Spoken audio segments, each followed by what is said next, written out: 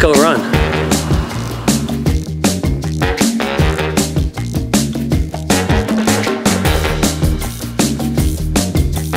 We're about three miles in the run right now. We're wrapping up our easy pace recovery run for the day. Nothing like the Texas heat. Remember, if you're a new runner, it's really important to get a nice little warm up before your runs. Even if it's just squatting a couple times, getting in some lunges, getting in some quick little hops, you wanna get some blood flow before you just get in the run. So many times when you're just getting into running, people just wanna get it over with. So they end up just putting their shoes on and heading out. But a lot of times that leads to injuries and it leads to you not performing your best on your run. So just keep that in mind. If you guys are just starting out, get a freaking warm up in, even if it's really quick. If you do nothing else, do little hops with each foot, and I promise you'll feel better for your run.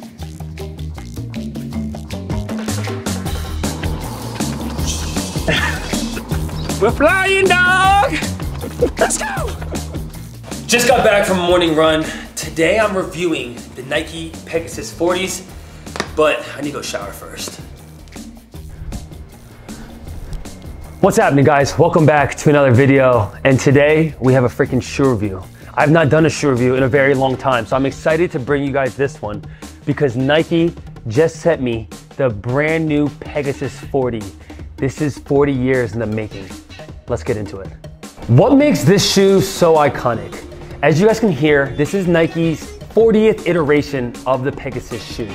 This shoe first started in 1983, and when it first got released, it was really designed to be durable, but also an affordable running shoe option so that people could get involved in this sport. When you're first getting into running, there's a lot of barriers.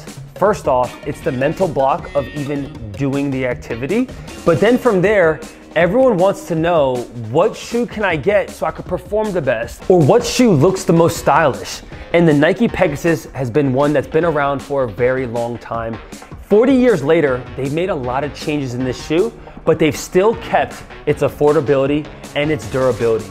This has become one of my personal favorite daily trainers because regardless of where I'm at in the world or depending on what I'm training for, this is something that can take me on long runs, easy pace runs, recovery runs, speed workouts, whether it's an interval workout or a track workout. And the fact that it's that versatile, it becomes a really good daily training running option because you don't have to have 18 pairs of shoes. If you're just starting out on your running journey, you wanna find a shoe that can be versatile in its use case. You don't wanna have something that's just designed for racing marathons or just designed to run on the track. And that's why the Nike Pegasus is a popular option. Now let's see what sets this version apart from its predecessors. One of the key updates is the new Flyknit upper, which provides a snug and sock-like fit. It's breathable, lightweight, and adapts to your foot's movement, which gives you that locked-in feel without sacrificing comfort. Now to the midsole. Nike's incorporated their renowned Zoom Air technology in their midsole. It has the perfect amount of push-off when you're on your runs, whether that's a long run or if you're going for a speed workout.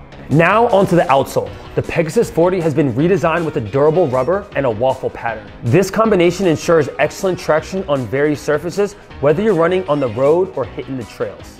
I have a ton of different running shoe options and this one has been a staple in my rotation because of how versatile and durable it is. When you're traveling with a suitcase, you can't bring that many pairs of shoes with you. So you wanna find a shoe that can be versatile regardless of what your trip might entail. And that's why the Pegasus 40 has been a big staple in my running shoe rotation. As someone that has a ton of different options for shoes, the Pegasus line has always been a staple because of its versatility and its durability.